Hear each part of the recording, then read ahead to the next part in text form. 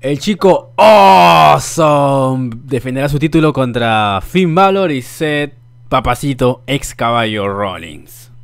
¿Quién gana en esta pelea? A ver, Julio, da tu opinión. Eh, bueno, yo aquí este combate creo que lo va a ganar el Miz porque, como ya ha ocurrido en otras ocasiones en WWE, siempre el que termina siendo humillado, pues es el que se iba a la victoria. Y aparte que la la misma WWE quiere que el Miz logre alcanzar uno de los récords más importantes como campeón intercontinental que lo tiene actualmente Pedro Morales y ya es un luchador muy antiguo, ¿no? Creo que el Miz sería el que lo están prácticamente eligiendo como el indicado para batir este récord. Así es. ¿Y tú, eh, Denis? Bueno, yo digo que a Seth Rollins no se le ve como campeón eh, intercontinental.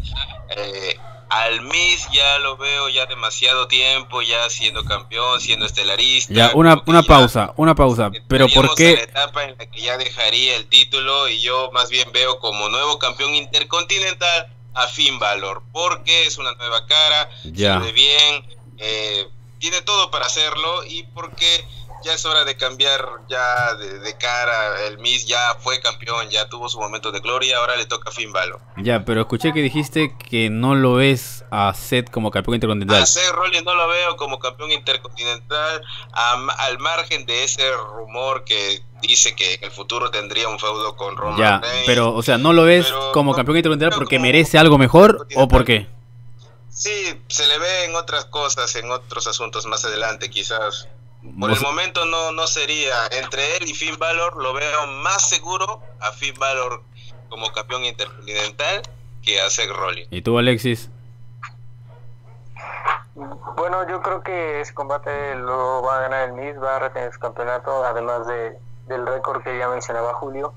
Eh, pues estas últimas semanas, eh, tanto Valor como Rollins son los que quedan de pie en el ring, ¿no? Entonces siempre han dejado al Miz votado eh, prácticamente en ridículo. Entonces, yo creo que por esa razón va a ganar el Miss, va a retener el campeonato y por lo mismo que no veo a Rollins como campeón intercontinental y, Valor, pues quizá después, ¿no? Pero en resumen ya no. Ya, bueno, entonces nos encontramos otra vez con un empate, como ya pasó en la predicción de la pelea primera. Y yo también pienso que va a ganar Valor. Yo creo que va a ganar Valor.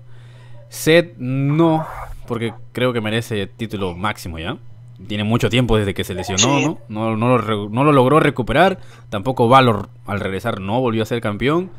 Y yo creo que merece ya un título fin Valor. Porque en las cámaras de eliminación se ganó mis respetos. Luchó muy, muy bien Valor en las cámaras. Así que. Sí, la verdad, sí, sí. Vamos lucha bien, la verdad. Vamos a ver si le dan el título intercontinental. Ni con malito ese finisher, pero ya, ahora escojan la siguiente lucha. Eh, escojan la siguiente lucha, a ver.